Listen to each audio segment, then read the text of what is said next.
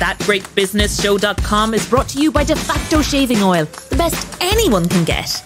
Made in Ireland, sold worldwide.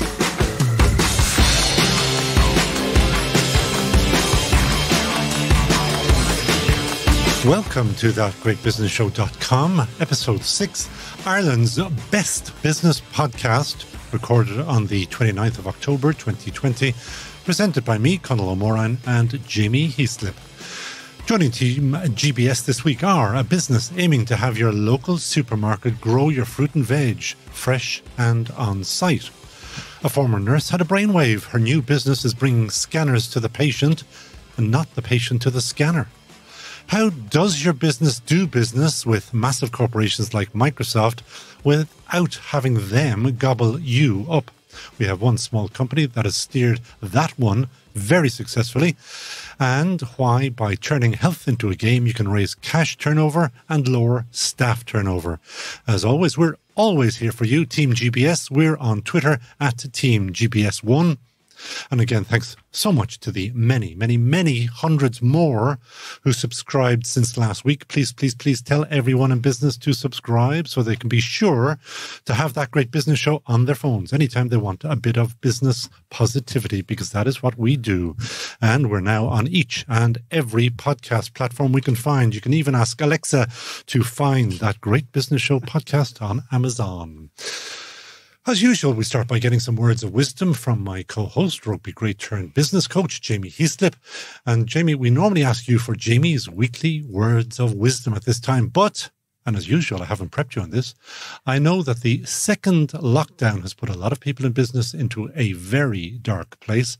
Now, from your days on the rugby pitch when things were going horribly wrong, what did you do to try to remain positive, or how did you stop your teammates being despondent?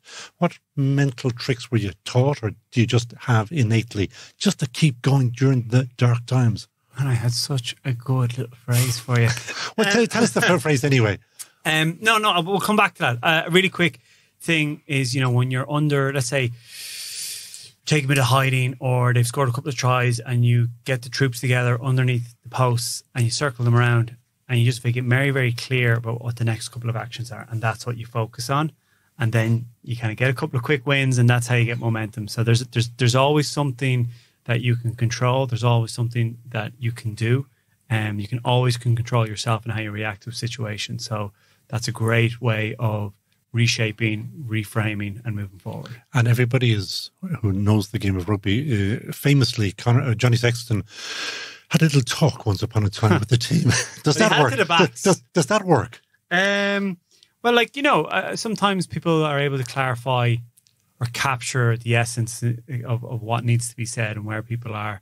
Um, and you know, I, if I recall, he, was kind of he's a big Liverpool fan, so he was reminiscing of of the famous Liverpool comeback in the Champions League, which was around that time as well. So, um, you know, nothing nothing is impossible sometimes, and and it's it's just how you you view it. Um, and that brings me nicely into my phrase this week, which is by an imaginary character, depending on who you, how you look at it. But it's do or do not. There is no try. And who's the imaginary character? Yoda. Yoda. I was looking at that on your Twitter account this morning. And I was also looking at the previous one about being a sponge. Oh, being coachable. Yeah. Yeah. Yeah. Because that is, you live by that, don't you?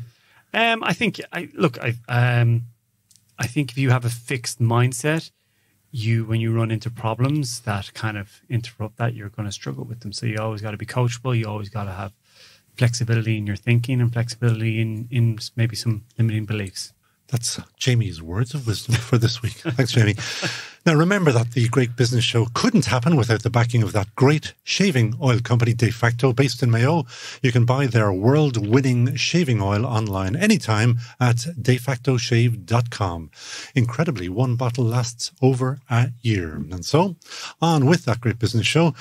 Close your ears, fruit and veg importers. Your world is about to change and not necessarily for the better our local supermarkets may be about to grow their own vegetables in store, fresh, year round, always available, using some amazing technology.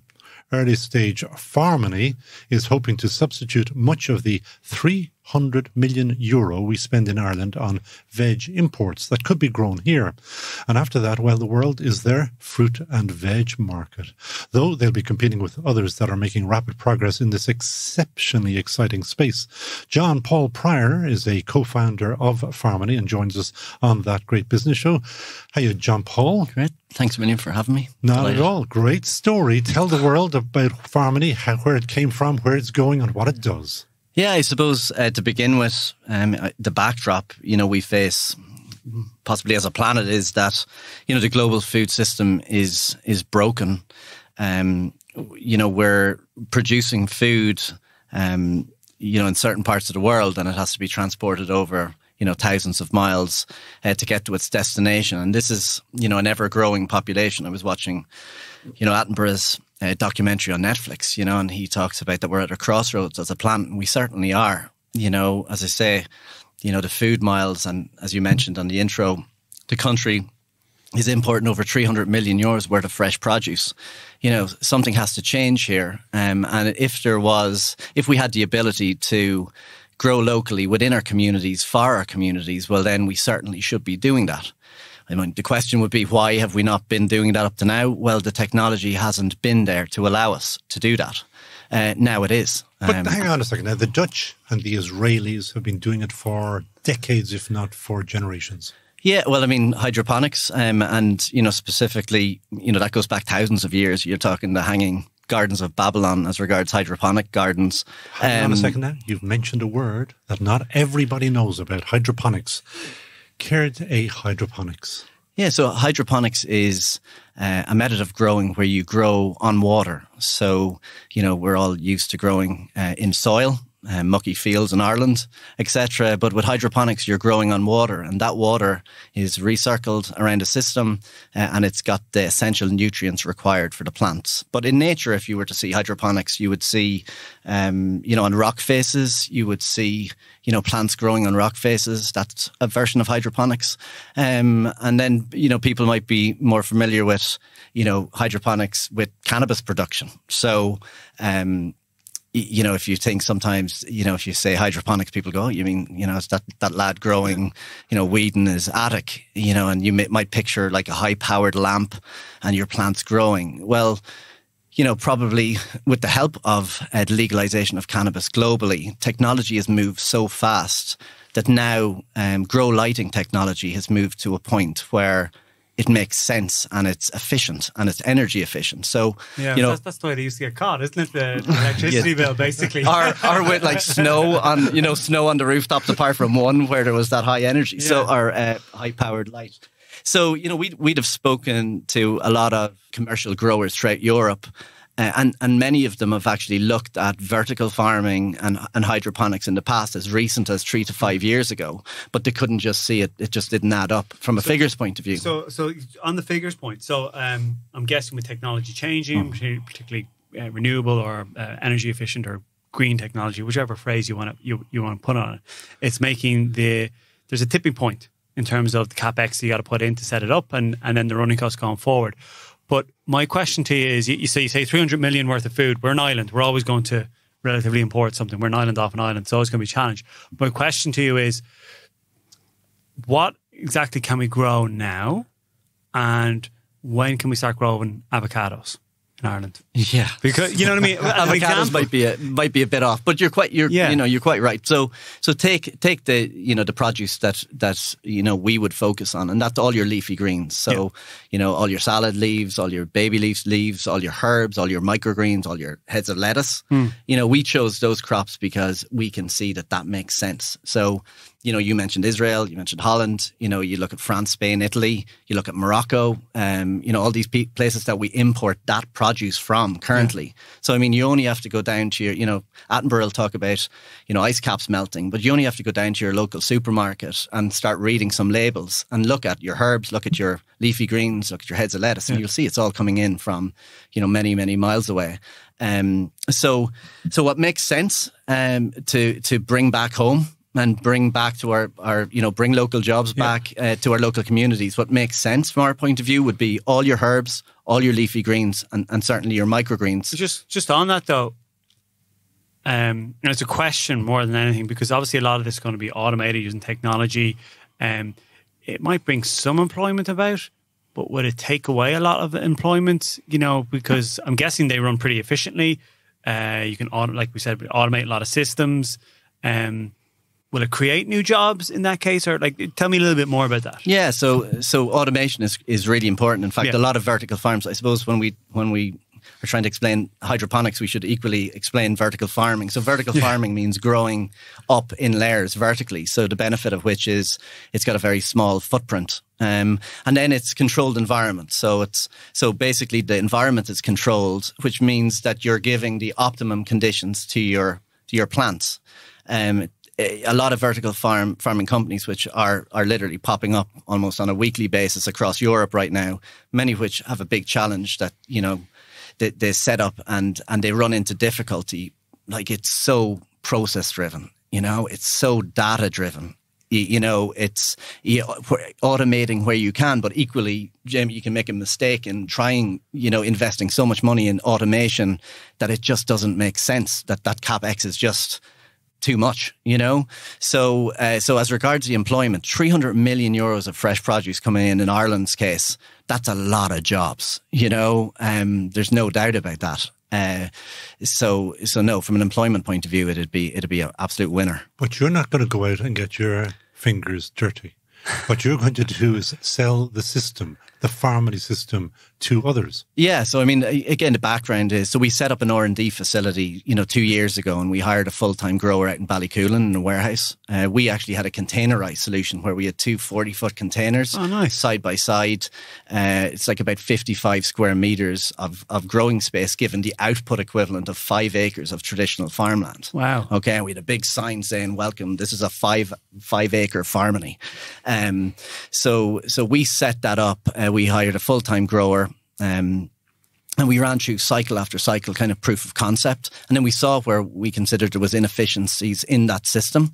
Um, and then we built our own hardware and software solution. So what because that- farm? that's your actual background, nothing to do with farming. Yeah, no, no, no. Green fingers, I do not have, unfortunately. but um, but no. So so you know, my own background is is IT, sales, and marketing, and I discuss a little bit of music put in there for good measure.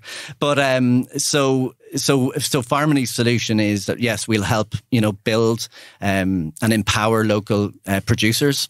Uh, we'll help you build your vertical farm, and then we provide an operating system. Oh, so the business model of which is a software as a service Yeah. model, so a subscription each month, um, and then you'll have access to everything, uh, all the data associated with your farm. And you'll want some money for this. As in, somebody has to pay you. How much do they have to pay for the system? Yes, it's completely dependent on the size of the uh, size of the farm. So it could be, you know, uh, as much as twelve euro per month per module, right down if you're talking like hundred modules in a farm. So each module is one meter by one point three meters.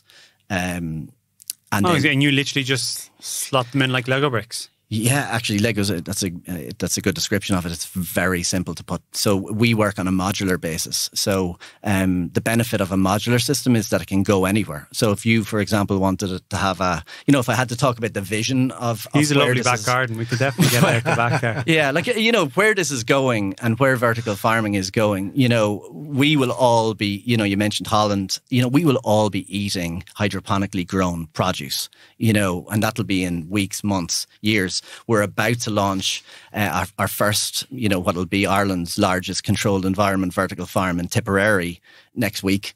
Timing of the Wow. podcast was great. Well okay, so, um, and you know, so so you know, you'll have you'll have you'll have a, you'll have farms and a network of farms throughout countries, um, and then you'll have urban farms. Uh, in city centres where you know there's a greater population, um, you know I could see that you know you want to be inspiring the next generation. You know the age of farmers like is is you know it's, is now I, in their I mean, you know, it's really interesting, late particularly with like topsoil, like topsoil erosion and all this going on. Um, it's it's very very. Yeah, I think you're in a great space going forward. You're looking at me like I'm waiting for you to start talking about gardening because you've already told me that you have no idea what a garden even no, looks but when like. you, when when you look at you know trying to sustainability going forward and stuff, you mean we're I think we're going to plateau at about 10 billion. The the numbers are saying. um, People. people on the planet. Um, so we have to come up with ways and means of of feeding these people in renewable, sustainable ways. Anyway, that's we're going off track. What I was going to ask you is, you haven't answered my question. When can we grow avocados in the back garden? Because it's a nightmare getting ripe ones down in Tesco. Yeah, avocados is a challenge, that's for sure. So, so, you know? yeah, I, I'm, I'm playing so- around with you. So, what do yeah. you think? You know, you've got leafy greens. I can understand that, and I see that. I mean, the roots aren't that deep or anything like that. It's not on the ground. Yeah. What's the solution for those type of? Uh, yeah, so it's a it's a it's definitely a step by step process, you know. And I mean, I say that there's been huge advance, advances in technology, which there has been. Yeah. uh, they're going to continue. So, for example, like imagine a world where, well, first of all, I think it's pretty impressive. We have a 365 day basil, you know, Irish basil. Yeah, like it's it's, on, it's on, you know, you'd never have thought like this before. But equally, you could have your own like peppers, you know, your own chilies. There could be a, you know, an Irish chili brand with chilies grown in Ireland. And Dylan McGrath loves them. Dylan McGrath loves the basil. So so tell me this. So um, so your system, you're agnostic to what they're growing. Essentially, um, it's modular. Well, you could. So, what you could grow with our system, for Yeah. example, tomorrow you could grow tomatoes. You could grow like you could grow chilies, peppers. You could grow um, flowers, edible flowers, pansies. You could grow all your leafy greens, herbs, Wow. microgreens. So the question would be, you know, you were talking about the capex and, Yeah, and yeah, how quick you can get your return on investment. Well, you get your return on investment quickly if you grow. If you find a, a pesto manufacturer and you can Yeah. you can supply them with with basil, for example, or um, you know any of those uh, in that particular like leafy green space. uh, You know those baby leaves. Um, I think myself and Conal might uh, set something up. will we? Sounds good to me because Could we, we live actually close by. with, with your system though, how how will we just call it, um, Jamie and Conal, but JC proof? We just call it that in that, terms sounds, of that's, that works for me. yeah, that works. How JC proof is is the system? As in, like, so you have to have a We background in guarantee- Well, farming? uh, well, I'll tell you, it's We JP to- proof. Right? It's, it's John Paul proof. I mean, if you saw my back garden with my dad giving out to me about growing, like not cutting my lawn, you know, um, you know, I I've stood in. I, I remember there was a there was a storm last year, and I was out at the farm in Ballycoolin, and I was I had my music playing. You know, like as regards a nice workspace, it's like tw- you know twenty seven degrees. You know, it's it's you know it's you know lovely temperature. do the plants know. react well to your music, or I've been trying that. Apparently, they do, and there's studies to back that up. But right, but um, but you know, you're sitting there and you're you're harvesting your crop of basil. The smell is amazing. It's fresh. You know, uh, the world outside is like stormy, and you know, we all know, and it's it's you know, there's floods, and you know how difficult it is to be a farmer. Yeah. You know, today with with the challenges that you have, like we talk about controlled environment, like where I can control down to every detail of a plant's existence. Imagine trying to go out even on a day like today where we're recording the podcast. Like the day, it's it's awful. That's you don't know what's coming weather next. out there now. you you know, know? Nice and wet. We're going to have to wrap it up, but I do want to, you to mention just very briefly two other things. It is being used already in Marks and Spencers in London. Wow. And you're all, it's also, there are plants being grown underground in London city centre as well. Very briefly, tell yeah, the there's world. there's great examples, you know, you know, globally of of really impressive companies that we'd be inspired by. You have plenty You- in in the US. You have like Gotham Greens. Um, I, I think you're referring to um, Growing Underground, a company in London. that I think they do tours. It'd be worth checking out. You know, they've, it's um, old bomb shelters.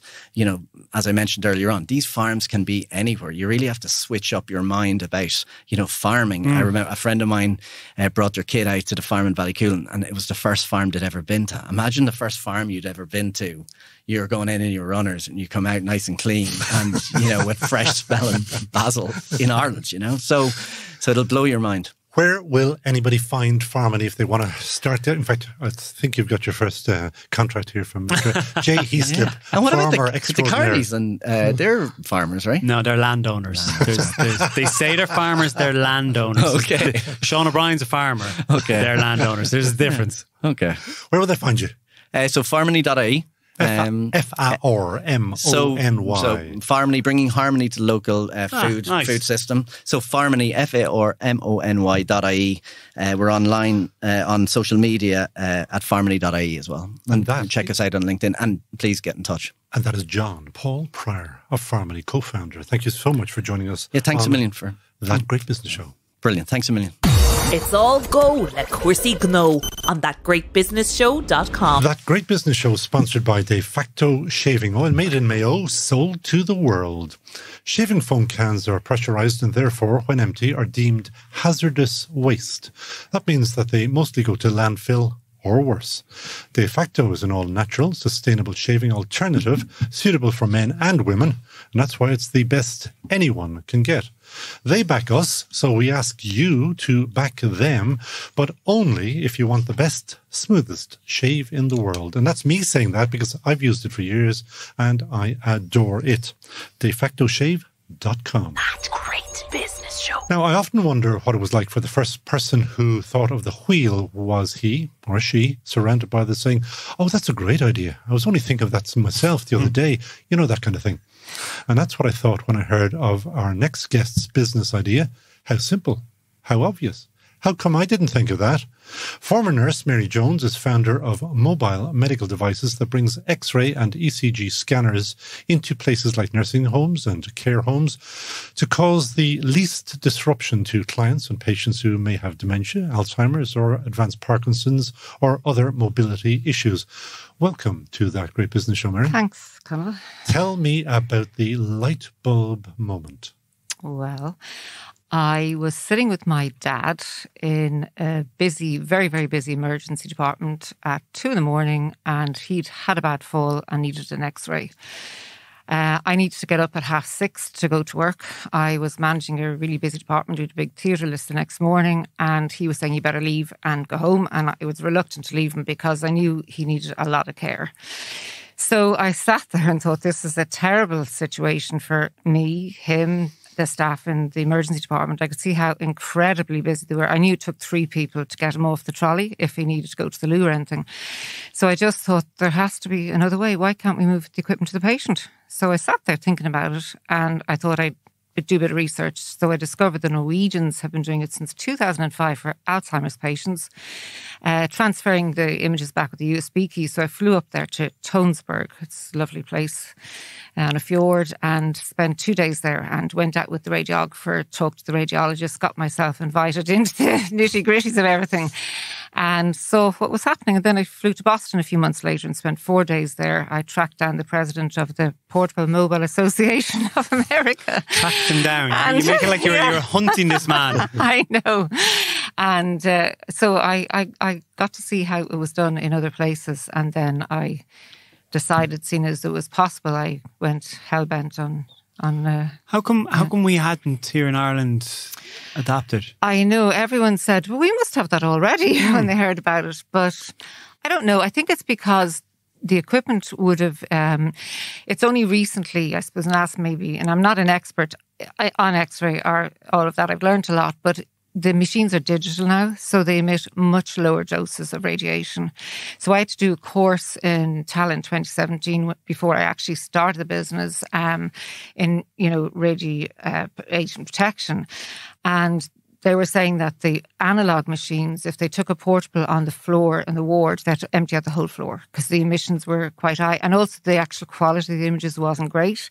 So mobiles would have had a bit of a bad name. We would have always been told when we were working, if you can get the patient down to the department, do it because the quality is not going to be the same. Okay. But with the digital new machines, the quality is the same. It's actually superb. And mm. the hmm. emissions are so low like they're really low. Our, and I compare every single image we take with the national, and we're below it for like I think it's nearly ninety percent, way below wow. in some. Yeah, so it's super. Just for a second, show me your hands there.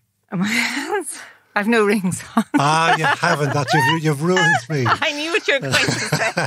because what you don't know, Jamie, is that this lady did, made the ultimate sacrifice. She put her engagement ring on the line to start the business. Well, oh, that's a bit wow. of an exaggeration. So if you if your don't business is you, you told Let me. the man have a story. I know. You see, so if your business is you have to have three years in business to get a, a lease. I suppose it depends on how much the lease is going to be. So getting the lease uh, from a brand new business, even from you know uh, special companies isn't that easy. So I went and when I, you know, started the company bank account and went, I went to my own bank in AIB in Stillorgan and the bank manager said, what is the business you're doing? You know, new business account.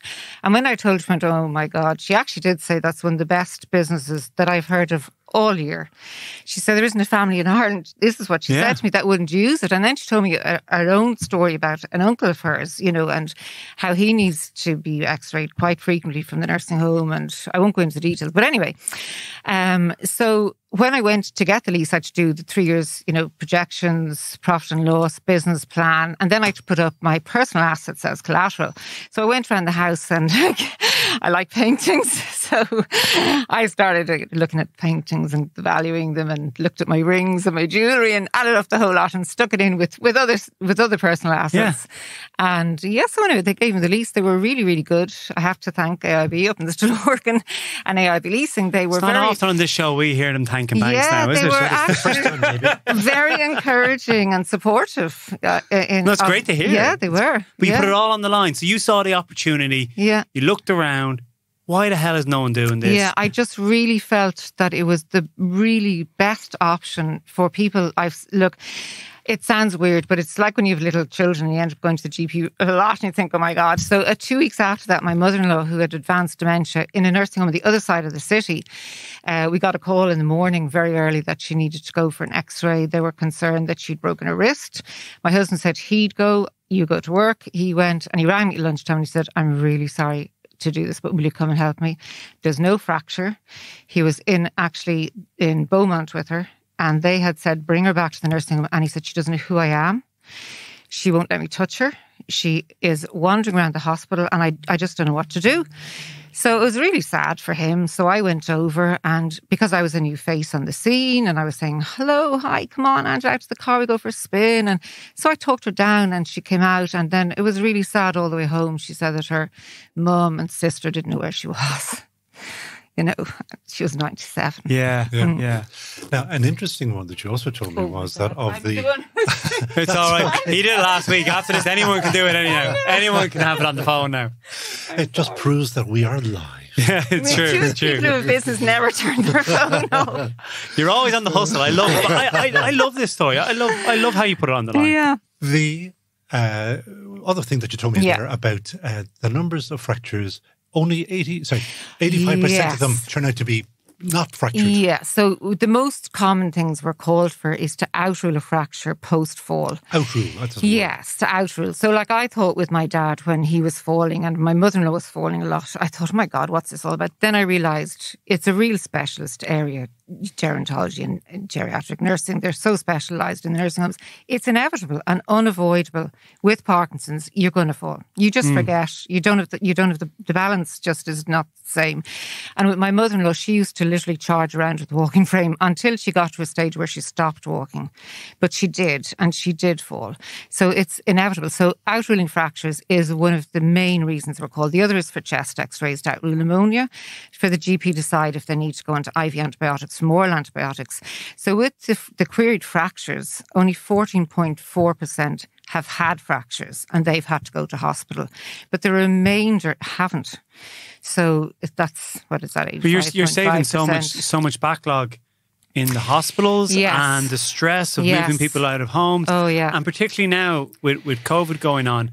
Um, Yes. How I'm not going to say it was good for business, but like were were, were you were Yeah, you brought in well, even more? How did you manage it? I have to say that it was difficult at the Hmm. beginning to decide what to do. So I could have hibernated the service and leased the machine because they need mobile machines in every hospital. So I could have covered the cost and done nothing. And then I thought, if we can't help people now, what's the point of having the service? So I thought, look, we'll keep going. And we made a decision as well to go against probably and above everything to wear full PPE for every single case from the get go. Found it hard to get it in the beginning, you know, but we did. So we've we've done that. Cover the wheels with disposable covers. Cover the plate, you know, with the disposable covers. Deep clean the machine. And Give the- us an idea full- of how, how big is this machine? uh, actually, it's really nice. It's 68 kilos. It's probably up to, if I stood behind it, maybe uh, my chest. It's on our website. Give 68 kilos. Say yeah. stop, stop, say so, stop. yeah, keep going. It's probably that height. Jamie's. Yeah. uh, but then you see it. This is pretty accurate. It- this is an accurate way of measuring. But it all it folds up, so the generators fold down, so that all pulls up the generator, and then you can mo- move the generator. To so it's, it's a little position. over a meter high. Uh, well, folded up, yeah. I probably I should know how exactly because I had to go and But measure. so it. I'm trying to get like so you fold up. I'm trying to get ideas. Yeah, like, yeah. Do you put it in the back of the car? I'm afraid to the turn van? on my phone to show you. It goes into the back of the van. This All one. right, yeah. Yeah. So then I had to, like, every single step of the way was a challenge. I had to work out what vehicle to get and put it into. So, um, luckily, I, I like cars and I, I like driving. My granddad had a garage. So, anyway, so I went around looking at vans and this, that, and the other thing. And I discovered that we had to get a Caddy Maxi because the exhaust system's different. So you could lower the exhaust system on that, but not on the Caddy. Caddy was big enough, but I couldn't lower the exhaust because we had to get it fitted out and get a, you know, ramp put on it Yeah, and lower yeah. the floor. So when I went to collect it, I thought, you know what? The guy said, Mary, what do you think? It's a bit heavy. And I went and I thought, oh, it's a bit heavy to push up the ramp. So they put an electric winch in. So it winches in and out really easy and quickly. Now, I was flying to Vienna in March to look at real collapsible kit. So to get into houses because we have the only license. Th- That's I was Yeah. going to say that's um, where my head starts going. Yeah, is yeah. obviously there's a lot of people that uh, care at home. home, yeah. How do you do that? Yeah. And then so as you scale this business out, Yeah. I mean, if you're doing that, for example, Yeah. people's homes, um, investment. Yeah, So and, and I know I know you, you've looked at investments that you turned down to to investors I'm s- previously. well, Who's the right fit for I've you? had a few people in contacting me from crazy sort of things, England, America, you know, whatever.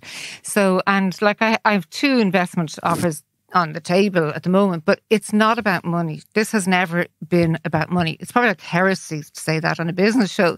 So my main motivation wasn't to make money.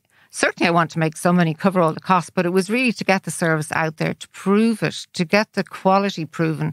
Like I was doing something telling everyone in the health service, look, you can do it this way, and literally introducing a new service. So I was concentrating on proving the concept, getting the quality. That's done now, and I'm really happy with it, and I'm really proud of it. So now, yeah, to get it to the whole country, because I have had calls from literally all over Ireland. I've had calls from England, people crying nearly in England. A woman on a train on her way to her mother who needed an X-ray, saying, "You must have it here," and I said, "Well, we don't."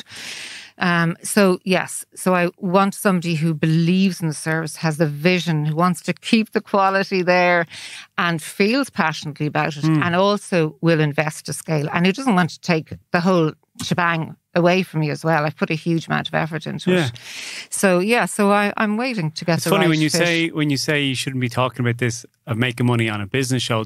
From my observation, I think the best businesses that that change people's lives and have a very clearly defined purpose Yeah. are the ones that always through thick and thin are the ones that like win this in is the for long, the run. long haul. Yeah. I'm looking at this for the long haul. This isn't just something that I'm going to quick money out of. You know, I want this to stay.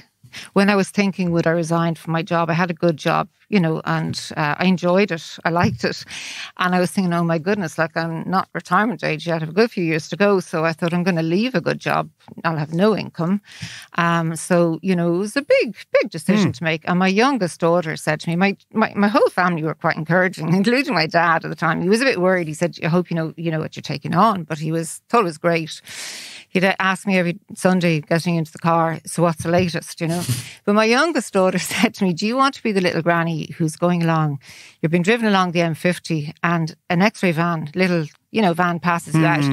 And you say, Oh, there's an extra van. That was my idea. And they went, Oh, and they go, yeah. and they go, Sure it was. Like, you know. Yeah. And she said, Just do it, mum. You only live once. That's exactly it. That's a killer. That's isn't it? brilliant. Yeah. That is lovely. And unfortunately, Mm-hmm. your dad didn't last with us No. to be your first patient. No. So it was, I suppose the timing was difficult. So he actually fell the week before we were ready to take x rays because, you know, there's a lot of training and signing off. There's a lot of technical, uh, you know, stuff involved. So anyway, great radiographer. He happened to have a fall and they asked me, could we do it? And I said, we actually can't do it at the moment.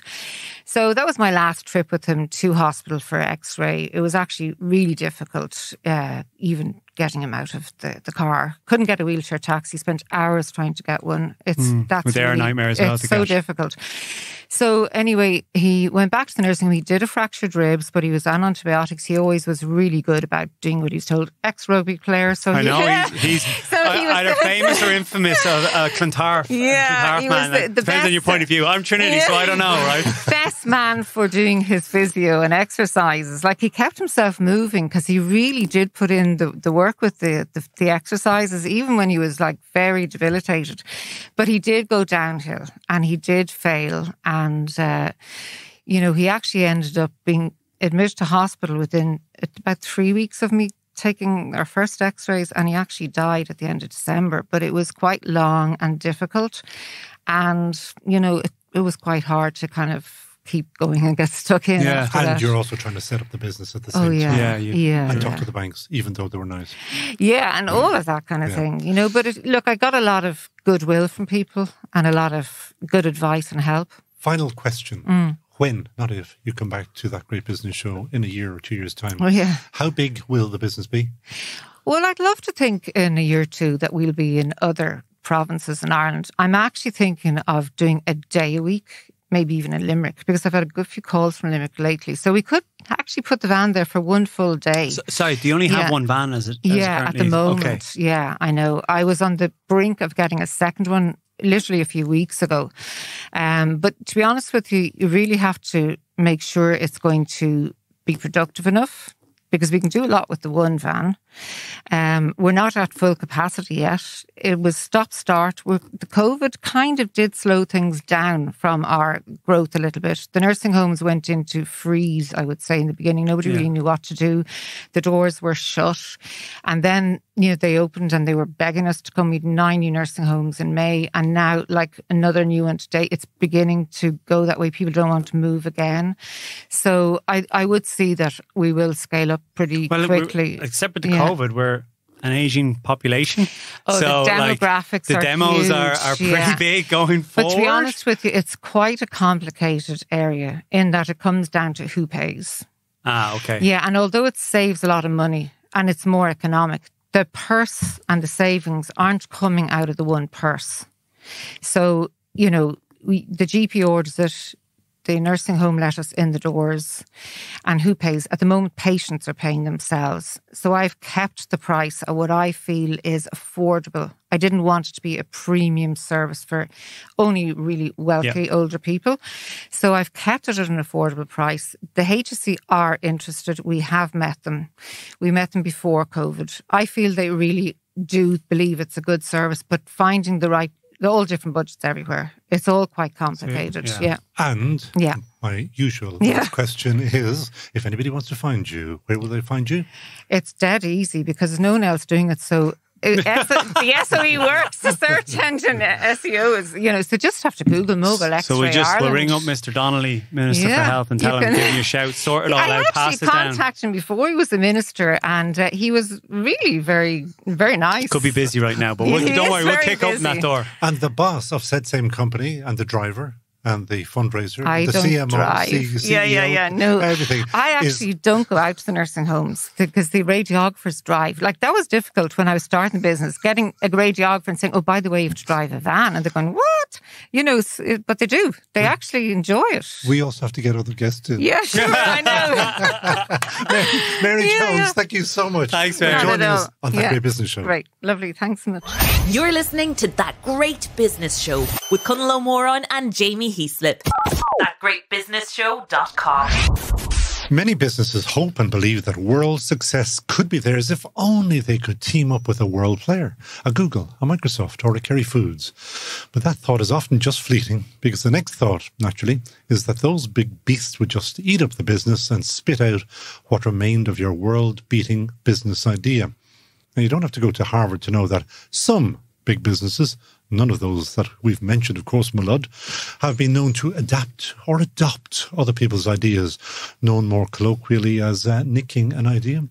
but a very interesting software company seems to have cracked it. Software maker Solgari has successfully teamed up with Microsoft, helping them to make Microsoft products better and giving them wider sector applications. It's a win-win for both sides. So, what's the secret? Solgari CEO John Colgan won't mind me saying that he's been around the block just a few times, heading up some large companies in his time. Welcome to that great business show, John. You've been around the block. Where? I have Where? a few times. Tell the world. Yeah, well, no, I suppose I started life as a programmer in in, uh, in a bank and um, moved out of there into technology. Got interested in how to do things so better. you did that pretty quickly, did you? Yeah, I did. Yeah, as soon as I finished my degree at their expense, uh, and. Uh, yeah, I just wanted to see how things could be done better all the time and was in that application space in banking for a long time. So I uh, would have sold companies to Texas Instruments and Level 3 Communications in Denver. Um, and then you know, more locally, kind of uh, small uh, SMS betting uh, company that we sold locally to to a group of privates, individuals. So um, yeah, I've been around the block and kind of uh, worked with and sold to and did earnouts with US uh, companies, big US companies, and kind of know how they operate. Mm. Um, so that that was a big help to us getting kind of. That's exactly the point, isn't it? Your CV has informed what you're now doing because yeah. you know how they operate. Did you did you see the problem in there in terms of uh, kind of a comms? Yeah, absolutely. And and um, I think the key thing is, irrespective of whether you have the experience or not, the key thing is that you must have something they need. Mm. Um, there's no charity in this. They don't, you know, they don't care. There's no emotion. Um, but if you have something they need, it lights a, a, a you know, a, a, kind of a torch for them. Mm. then they will use it because it helps them sell more. And we're lucky in that Microsoft currently have really got an open and um, transparent partner program.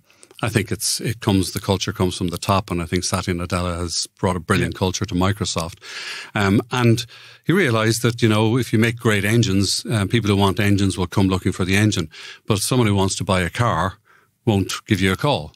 So he's partnering with other people who'll put the body on and paint it and whatever. And he's, he's relevant in more places and the revenues are going through the roof by partnering openly. And what's Gary doing for them? So what we do is we saw um, the opportunity where there's lots of communications channels and, and you know, even more so now, um, it's kind of been dictated by the end user, mm. uh, how, the, how they want to do business with you. And you either can do it that way or they walk away. There's no loyalty on that side either. So all of the channels were available to them, you know, chat, SMS, uh, instant messaging, social channels, voice, video, um, and they want to be able to use whatever comes to hand. And, and, and respond immediately. Immediately, yeah, and, and switch between those channels and uh, the full flexibility that my 21 year old, who's a perfect specimen to analyze, uh, David won't mind me saying that, um, when it comes to usage, uh, has zero tolerance. You know, it, you either respond to me how I do want to do business with you at that moment in time. And it might change in five minutes, um, or I walk. Like you're not putting us on a, on hold here for God, like I remember being on a call that I won't mention the company that'll be after us for like 15 minutes, I yeah. think, on hold, and then it asks you to select the button after that, and you're yeah. kind of like, that's yeah. insane. Now no, it, it's just changed. Amazon changed the game with on demand in terms of habits. So yeah. I'm guessing this is a this is it. And and so what we have is we've got all the channels integrated wow. so you can change between them. Um, but we have all the functionality. And I think this was kind of the secret when we stood back and, and looked at really where has it gone wrong before. Uh, we've got all the functionality for large volumes. So we can do the automatic contact distribution to the right place in the company to get them, uh, get, increase your chances of getting a good answer, a good outcome from the customer's point of view. And because we're in the cloud, um, you know, we can bring you across multiple offices and bring your resource pool into play. So when you're slack in one place and you're busy in another, that's going to come into play. 24 7. 24 7. And also not having to hire locally in one office when you're going to have a busy period. You know, you've got a, a yeah. less busy period in another office they're all on the same service now. So you can put the contact through whatever way it comes, a chat or an SMS or a call, through to the place that isn't busy, pop the screen with them, and they can have an intelligent dialogue that will get the customer what they want, which is resolution or the or the purchase done in one. I have a question. I know you're teeing up for one, right? you well, go first. Because I think it's important that, uh, from what uh, John is saying there, that uh, we understand that it's not just Microsoft. If you want to name that company that you mentioned to me in the west of Ireland that you're doing that for, An, yeah, an so, insurance company. and and you know, vital to us uh, to go to Microsoft was having proof. And so a few years back, you know, people like Enda McCrone in Hastings Insurance, um, you know, Don Ryan and Morgan McKinley Recruitment from in Cork, um, who are an international recruitment company based out of Cork, uh, Patrick Burke, Sherry Fitzgerald Lettings, had the foresight to see and the vision to see that it's going to the cloud. Um, and they were early adopters of Solgari.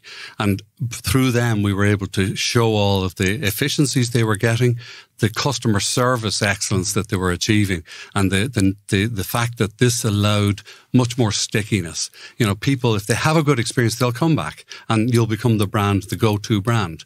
And so, um, making it easy for people to, to work and also then providing functionality like accelerators for them where you have outbound dialers or you can send bulk uh, text messages. So Hastings Insurance in the west of Ireland, a fantastic company, will send out bulk reminders on SMS to their customers to say, you know, your renewal date for your, you know, And insurance. does is this all integrate with like a, a HubSpot or a Salesforce, or do you see them as as competition? No, and that's the we, we integrate with those CRMs, those customer relationship management, and we've put a lot of effort into integrating with Dynamics 365, which is Microsoft's. Yep. Um, and so it was by um, lighting that up that and and being able to do things with that that even Microsoft's own communications channels weren't able to do that got their interest for us. Um, So can I bring it right back to what I, how I started this entire interview by saying, you go to Microsoft. Why wouldn't Microsoft just uh, Yeah. look, look, look under the hood and just say that'll do very nicely things, and Yeah. I'll take it? yeah, and and Maybe you know, that's the plan, is it? Well, you know, that could be their plan. I don't think it is, but, um, you know, they're developing all the time. So, you know, we can't stand still. Uh, everybody's is advancing their product set and they've got their own product roadmaps. But I think, you know, we, we stole a march because we, we stood back and we took the benefit of all of our experiences and we built this integrated suite that had, as I said, all the functionality of telephony, contact center and compliance, recording, archiving and retrieval, mm. reporting, all of that on top of all of the channels. So it's an integrated piece of technology that has all the data belonging to the client of all their interactions in one place. So the big buzz right now is, is intelligence, customer intelligence. So if you don't have that environment, you can't be intelligent. If you've bought in from a chat provider and an SMS provider, and you've got a telephone company, and you've got all these channels separated, um, to jam those together is awkward at best a big project at worst, and, and it, it doesn't work. It's not going to be real time. Whereas with us, in real time, you have everything that's been done sitting in front of you, available to the agent to talk through. Oh, Jamie, I noticed you bought, uh, you know, a, a 2XL top.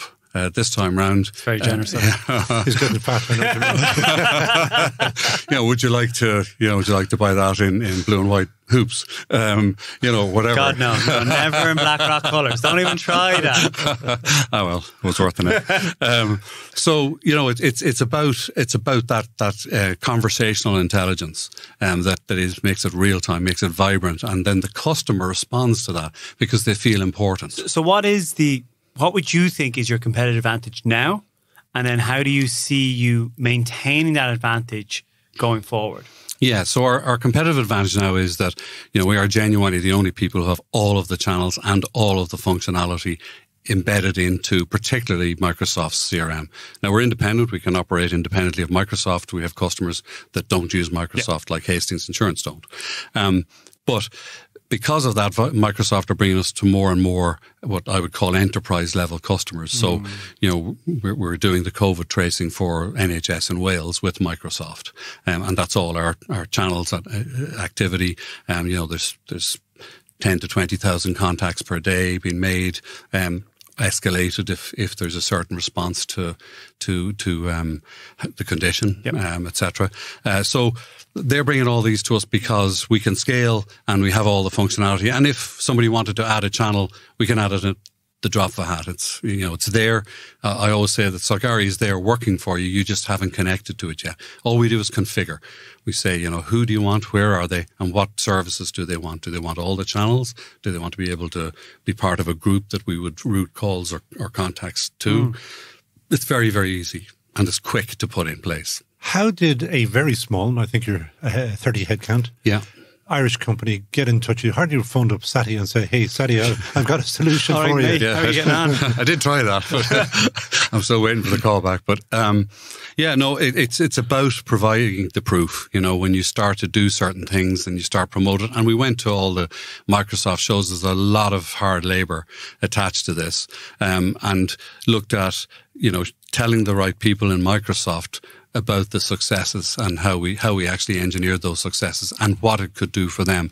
And in fact, I've just finished a four minute video that's gone to the executives in Microsoft that says how we're key to them expanding in the enterprise level, you know, so that if you want to get in quickly, instead of having to do a big project to bring all these channels in, hmm. you can be immediately live and move on to the next project and, and, and, and fan that out and get more seats So from th- this is even if you have, let's say, legacy kind of type issues versus you're just starting out. Hmm. It's agnostic to you. You're able to just flick the switch for. Absolutely. And Wow. it doesn't matter what size. You know, we've got small customers and we've got extremely large customers like, you know, the NHS in, in Wales. Um, and we're live in 45 countries. We're customers live in 45 Oh, countries. from where? Where's the Where's the Uh, headquarters? the headquarters here in Dublin, yeah. Um, uh, we've got a presence in London, and we've got a presence, uh, technology presence in London. We've got a pres- technology presence in Singapore um, on on data centers. Um, we use we use uh, hubs that are communications friendly hubs, um, and uh, it allows us to expand very easily. And you don't need money. Well, we, we've we've, uh, we've it's taken about uh, eight and a half million to get us to here. Um, I, I'm delighted to say, very well backed by Enterprise Ireland, and I, I can't sing their praises highly enough. Enough, um, they've been fantastic supporters and really understood us from the start and, and put all the supports in place. Um, the rest of it has been, and the bulk of it has been from private individuals, most of them Irish individuals who uh, knew me or us uh, from previous history, you know, history with us. Um, and uh, Did you go to them before you proved the concept, or are they backing the person and your experience? Initially, we've done about three rounds. So initially, the first round was, you know, we've got an idea and we've got a couple of customers that are sort of using it and dabbling, but here's where it could go. So with people who knew us well, um, that give us the initial amount and that got us the point where we were able to have a few customers and proof of that and um, looking to, to and, and, and gone a bit international. So had international customers and, and got a bit of volume into it. So the scaling thing, the international thing, the multiple channel thing, they were all proven at that stage. So we hired the valuation and raised a little bit more. Those people followed on and we got new people in. And, and the third round now, we're just finishing out a four million round, which uh, will close this week. Oh, congrats! Yeah. So, and again, it's all privates. And, We, and we, we, we thought your pockets looked a little bit heavy. Yeah, coming in. yeah. and the the future will do Yeah. what? I mean, you told me that you don't want to become a three million uh, person organization or anything. We won't need to. I mean, that's the beauty of the cloud is that, you know, from a, and I think Ireland is really well positioned, you know, from a cloud perspective, you know, we, when we put the infrastructure in place here, you can service anywhere in the world. Nobody asks you now where your cloud is based. It's so true, isn't it? And You do you do you see it with, with Brexit, all this stuff going on, the fact that Ireland is, you know, a, a beachhead for um, foreign direct investment in, into into Europe? Mm. Um, do you see that as advantageous for you going forward and Irish companies in general? Definitely, um, definitely, and I think you know what it does is now you know we're the the the, the main our English speaking country in the EU. Um, you know we've got great relationships, obviously within the EU, but we've got great international relationships. We, you know we have good trade relationships historically with Britain, um, and there's a there's a codependence there that nobody can can deny. And Brexit or no Brexit, they're going to have to facilitate businesses on both sides of that divide uh, to allow them to continue to, to survive and thrive. And we've got a great opening into the States, uh, you know, the Irish in America, but the, the history of Irish technology companies in America, you know, we've just closed a couple of, of fairly significant deals in, in, in the USA and Canada. Um, with Microsoft, and you know the acceptance of it and the fact that we're Irish is just uh, is just brilliant. Yeah, how lovely. John Colgan, where would anybody find you? Soul Gary. Solgari.com, S O L G A R I.com. And you're open for business, I oh, hear. We're open for business 24 7. Yeah. Thanks, John, very much for joining Oh, us pleasure. Thank you both. on thatgreatbusinessshow.com. ThatGreatBusinessShow.com is brought to you by De facto shaving oil, the best anyone can get. Made in Ireland, sold worldwide. Wellness is one of those words that has been used, abused, kicked, shoved, shaken, rattled, and rolled and can mean almost anything to anyone. But what if I told you that a small but perfectly healthy wellness company called MPeel could take one euro and turn it into six or more euro, you'd listen. Healthy staff means happy staff. Happy staff don't tend to leave their employers, making for much lower staff turnover. And the company MPeel has turned staff health into a game, and the results are stunning. As usual on that great business show where we keep it real when talking about business, it hasn't been a walk in the park for MPeel founder Sahini Day. She says she has learned more in the last few years running MPeel than she did when successfully studying for both her MBA and CFA qualifications. Welcome to that great business show, Sahini. Thank you very much, Conal Jamie. I think you know what it's it's it's not great that we don't have a camera here because you are the epitome of me of health and wellness gleaming as you come in here. It has to be said. Charm. Uh, Charm. well, you know, you, some people you get a lot of energy off. You know, Conal, like you should take some lessons here. you know what's very interesting? So he know so he tells me that what I think is hate might be the wrong word, but you don't really like wellness. Wellness is just is being abused, isn't that right? The word, yeah. I, I, I don't, I like the word wellness, but it's just uh, the way people use wellness and so loose terms. So, what is wellness to you? Um, being happy. That's the, if I'm happy, I'm well. Um, I'm able to perform uh, my best. And that's, that's, it's simple, just being happy. But you've built a business out of it. Yeah. Yes. so what does MPeel do? So MPeel is basically a digital health company. Um, and what we help our users to do is they can improve their health and well-being um, using the app in a gamified way and attain their physical and mental health um, in a gamified and fun way fun and user experience is very important for us. Uh, it's a, and it's a very easy to download app and they can download it and they can follow simple steps um, and uh, ultimately become happy. Give me, you, give, you, sorry, I beg your pardon. Well, no, I was going to say, do you, do you do you white label it for companies and you're in the background, or do you is it kind of standalone and the companies plug in? So we are we have three types of um, avenues at the moment. One is uh, your uh, typical organisations for their employees and their staff, and uh, for them it's an mpl brand. Um, we are uh, collaborating. There are a lot of work in the background. I was telling you, Conal before. Um, for them, we will be white labeling probably at the end. Mm. Uh, at the moment, they're more more going towards pilots first uh, because it's like a marriage. So yeah. you have to kind of try it out first. and then you go in for the full dive with the white label. And the third is uh, we're working with clinical teams in the health service sector as well. Um, so that we haven't decided yet whether it'll be MPeel or white label.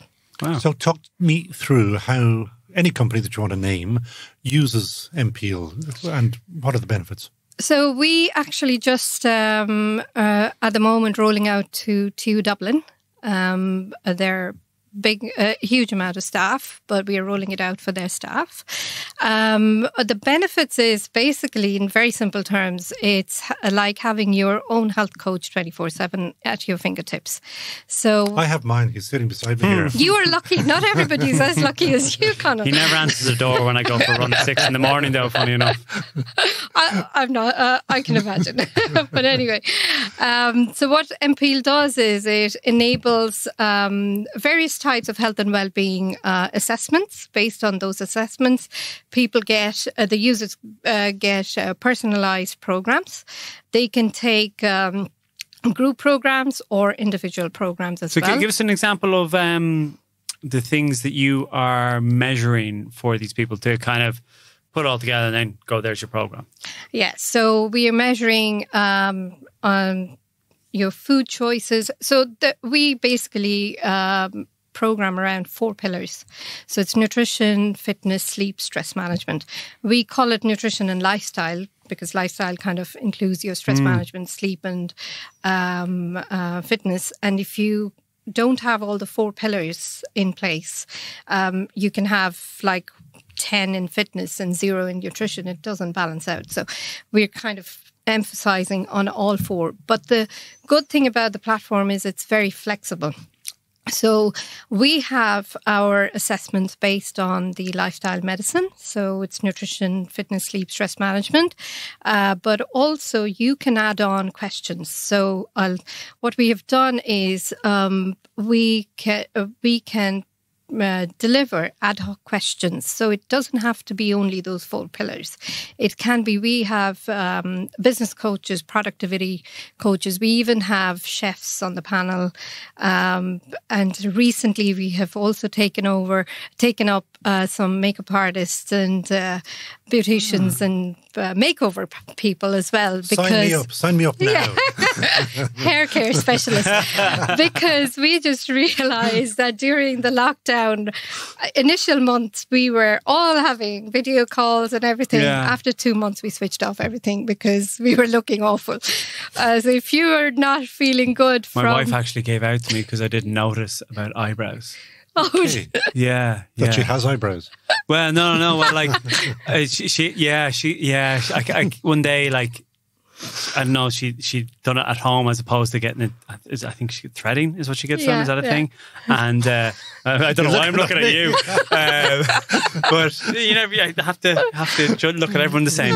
Um, but yeah, she, then she kind of did a did it herself at home, and I was like, something not something not right here. And she was kind of half half offended, but then half delighted that I actually noticed. noticed. But anyway, sorry. Well, sorry. The point, this is great. This is a new podcast. Yeah, living. living I'm going completely, going completely off track. But my question to you so, is that so wellness, right? And you have your four pillars, but you, what you're saying to me here is because wellness is so. You, you, my definition of wellness is diff- different than it's yours. It's different than right? Yeah. But are you saying that okay, you have your four pillars, but you're you're also providing the flexibility to adapt to the the needs and the wants of whatever workforce you're you're working exactly. with. Exactly, absolutely. And it's not only individuals are different, but organizations are different. Their values are different. Their work uh, force is different, uh, different demographics. They might not be all in one place, mm. they might be in different countries. So, for organizations to find out and strategize um, a perfect employee wellness program is very difficult. Yeah.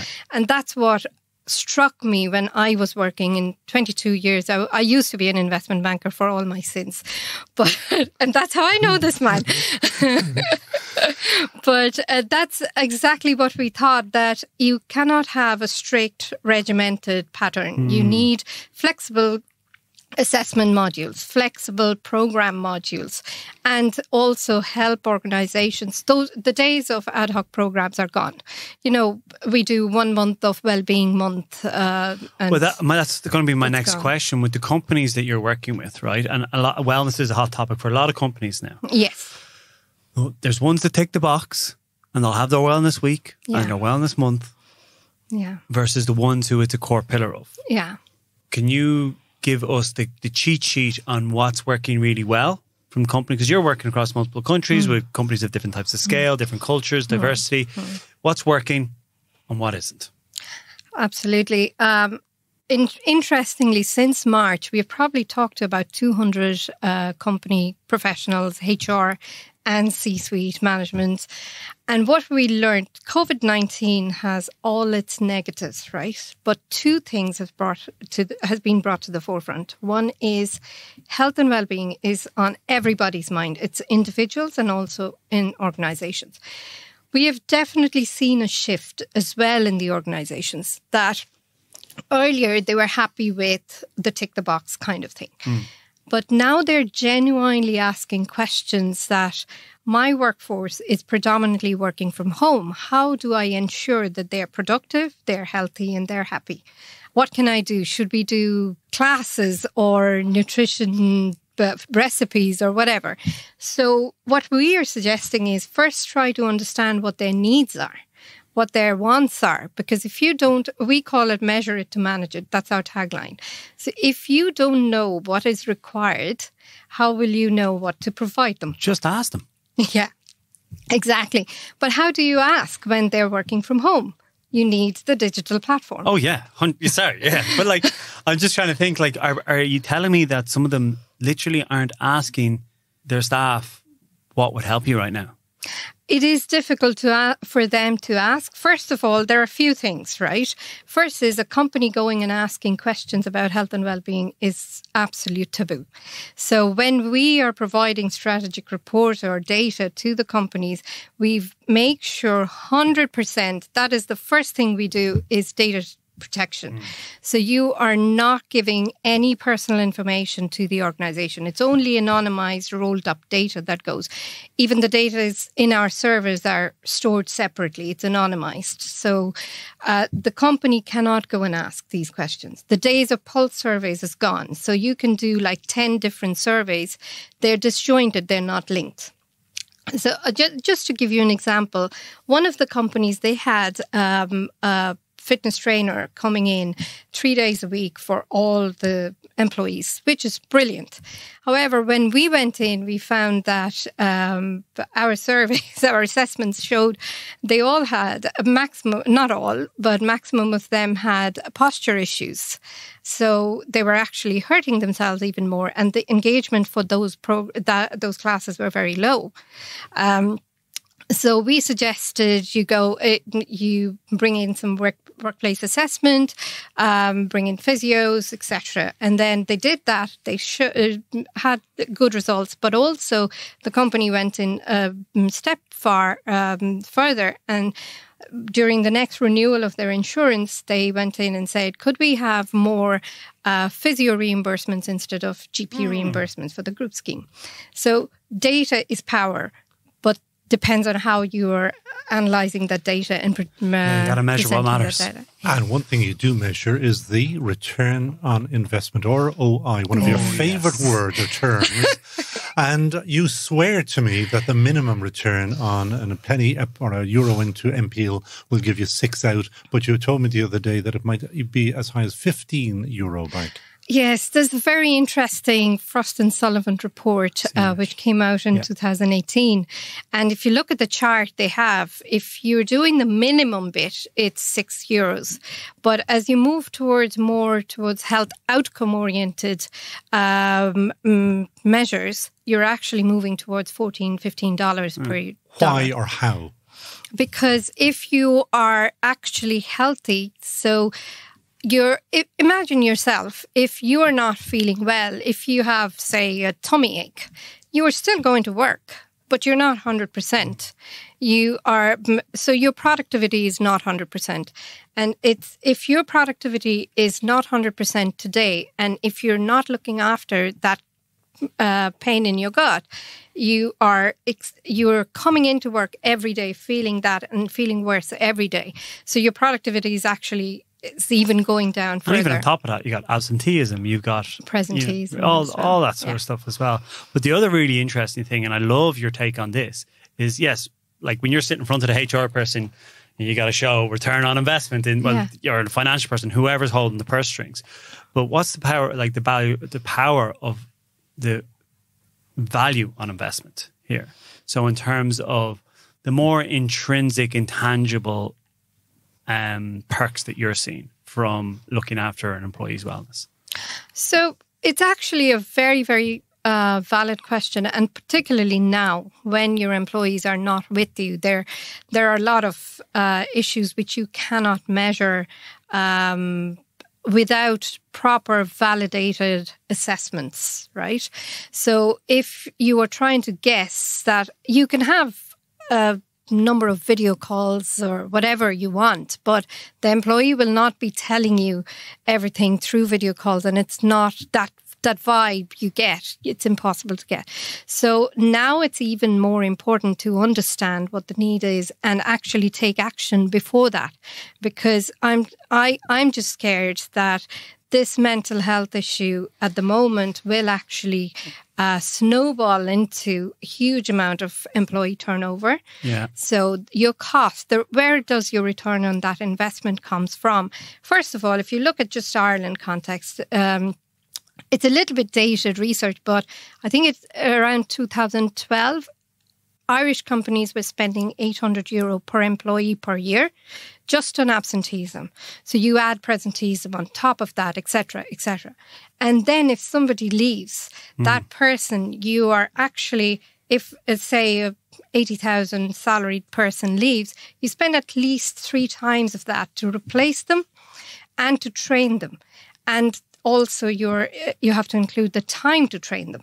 So that must take six, nine, 12 months to recoup your investment on the person, does it? more than that, I would say, because you are, if you are spending, if somebody's leaving and you are spending, say, um, 80,000, you're spending three times of that. Plus, you are adding on the absentees and presenteeism cost. And we are saying that you are spending about, even if the you take every, all the, uh, um, all the benefits from Empeal platform, it's probably about 45 euro per person per month. So you imagine the return on investment Yeah. on that. Oh, you have me. Yeah, I'm a believer in it. Like, don't worry about me. Listen, your Empeal's time has come. There's no doubt about it. So if anybody wants to contact Sohini Dey, where will they find Sohini? Um, so it's shahini.day at empeal.com or info at empeal.com. And uh, Twitter is uh, at the rate empeal health. Empeal Health will find her exactly. I love the way you say Shahini. I always call it you, Sohini. Incorrectly, Shahini. Shahini, as usual, thanks so much uh, for coming on to that great business show. And that is it from the, that great business show. Making us sound even more incredible than usual was Alison O'Dwyer of the Dublin South FM podcast studios. A big thank you, Alison. Go on, And this week's Gemologist Award has to go to Angela Tynan, manager at the Nutgrove Enterprise Park, beside us here in Dublin. Angela keeps finding us diamonds, like two of today's guests. And a big team GBS thank you to you, Angela. And a special thanks also to Antoine Xavier, still a giant amongst accountants, despite being retired, for some sage business advice he gave us during the week. And if you want to have your exceptionally interesting business featured on Ireland's Best Business Podcast, get in touch, please, with producer at thatgreatbusinessshow.com. And the final word, as always, goes to Jamie of Jerusalem. And if you don't know the reference, li- listen back to the interview with Party Girl turned on girl. Tony Wall, episode four. You'll find her there. She's the first item, Tony Wall. Uh, she was one of our best so far. Jamie, what is your final word? You've completely got me on the hop. That's the final word.